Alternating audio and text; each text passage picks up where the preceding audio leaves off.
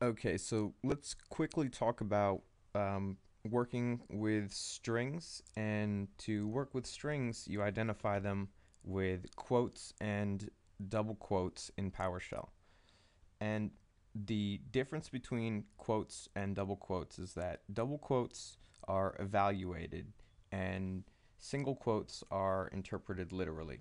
So I have this example here already running where um, we have a special character inside of double quotes. And you'll notice that uh, the uh, special characters start with the backtick. And um, in this case uh, backtick T inserts a tab into our string.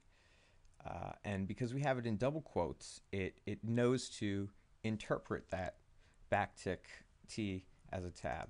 If we put that same code in the single quotes, you'll notice that it outputs the backtick t. Um, and that is that is the difference between double quotes and single quotes. Um, and here is a, another example of the double quotes and the single quotes with a special character. In this example, we have the new line character, which is uh, backtick n. And um, we have double quotes and single quotes and you'll see that in this case the um, data after the new line character starts on a new, new line.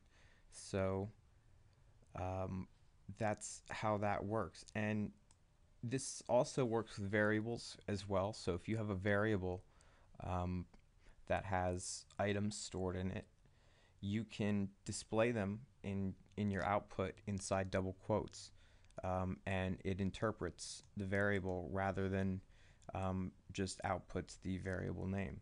So you can see that in this example where in the first um, line it says we're talking about PowerShell 3 and that's my variable and um, here it does not. So if I take this out of the quotes and try to run it I get an error because um, that that is not something that I can assign to a variable. It, it doesn't it doesn't see it as a, a, type that it can work with. So if you put the quotes or the double quotes, it knows it's a it's a string and it says that's fine.